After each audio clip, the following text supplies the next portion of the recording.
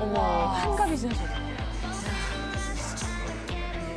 요즘은 정말 나이를 가늠할 수가 없죠. 관절이 좋다고 하잖아요. 근데 라인 댄스가 워킹 동작이 많아요. 음악에 맞춰서 다양한 강도와 템포로 스텝을 밟다 보면 뼈가 튼튼해지거든요. 네, 라인 댄스를 추게 되면 춤을 추는 동안에 예, 반복적으로 동작이 up, down을 계속 하는 과정에서 소실되기 쉬운 골밀도 를 높여주게 되기 때문에 또한 노화가 되는 과정에서 몸의 유연성이 떨어지게 되는데요. 이것을 높여줄 수 있겠습니다.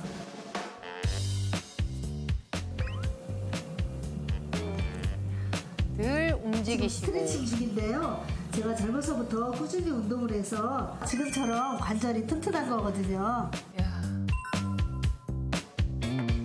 이 자세는 햄스트링과 어깨 근육을 풀어주는 자세인데요. 엉덩이 넓이로 두 발을 벌리고 두 손을 모아서 등 뒤로 가져오고요.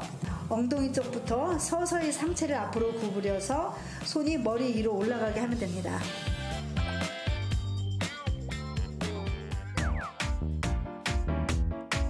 자세는 의자나 벤치같이 엉덩이보다 낮은 곳에 이렇게 왼발을 올리시면 되고요. 스트레칭을 강화하기 위해서 발끝을 올려주시면 돼요. 운동이 참 별게 아닌데 운동이 많이 되는 거잖아요. 어, 시원할 있는 것 같아요. 굉장히 스트레칭과 허리에 좋은 자세인데요. 사실 이 자세는 안 되는 분이 많을 거예요. 저희 피디님도 한번 해보실래요? 네. 우리 그러니까 아까 팔씨름 지신 분이죠? 예. 30년 동안 종합병원이에요. 운동을 해서 쉽게 되는데 오늘의 사례자 아니죠? 어머, 어머, 어머.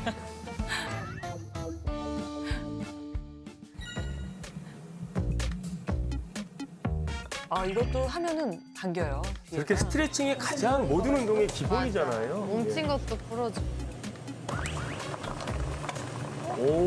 지금 개족탕을 끓이고 있는데요. 예로부터 이 닭발은 한약재로도 많이 쓰이고 그랬거든요.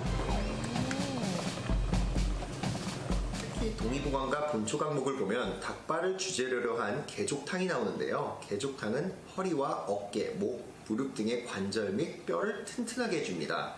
실제로 닭발에는 칼슘과 콘드로이친, 콜라겐 성분이 함유되어 있어 연골과 인대, 뼈를 튼튼하게 만들어줍니다. 닭발이 이렇게 좋은 건지는 또 몰랐네요.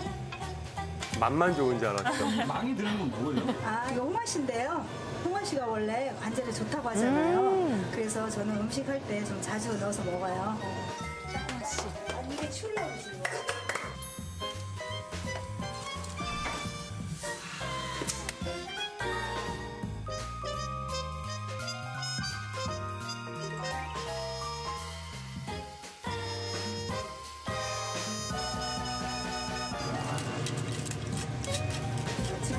굉장히 진국이잖아요. 그래서 저는 여기에 된장을 좀 풀고 철에 따라서 시래기나 아욱 같은 걸 넣어서 먹고 있어요. 음, 그러니까 시래기 된장. 근데 시래기도 뼈 건강에 되게 좋잖아요. 예.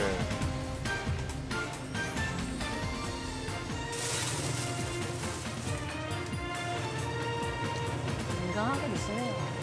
요즘 같은 봄철에는 산과 들에 나물들이 많이 있잖아요. 이 봄나물들도 알고 먹으면 약이 되는데요. 특히 취나물이 관절에 좋다고 해서 챙겨 먹고 있어요.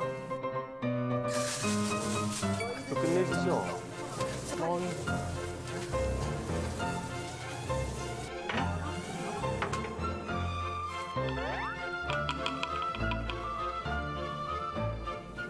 뿌리시는 게 뭐예요? 아, 이게 홍화 단백질이거든요.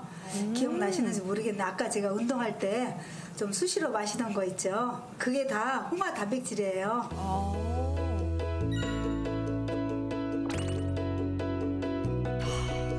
분의 공통점이 그 단백질 음료를 빠져나가는 근력하고 골밀도를 잡으려고 먹기 시작했는데 꾸준히 먹으니까 뼈 건강이 아주 좋아지는 것 같아요. 단백질 역시 뼈 건강을 지키는데 필수니까 이왕이면 홍화와 단백질 이 두 가지를 함께 먹으면 좋잖아요. 그래서 저는 자주 잘 챙겨 먹고 있어요.